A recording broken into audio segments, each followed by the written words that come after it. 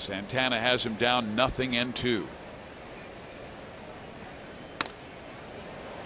And then Bonifacio climbs the ladder as high as he could go and pulls it out of the air, robbing Beltre of a base hit.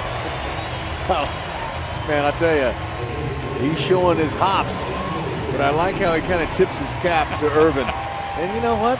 When you're enjoying yourself and having fun, he timed it perfectly. It's all about the timing.